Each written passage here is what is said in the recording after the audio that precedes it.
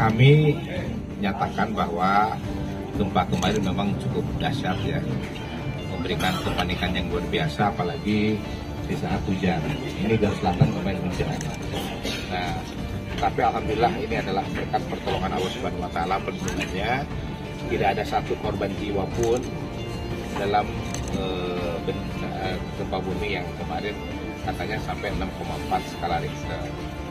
Nah tentu kalau rumah ada yang retak ya ada banyak, tapi tidak mengakibatkan rubuh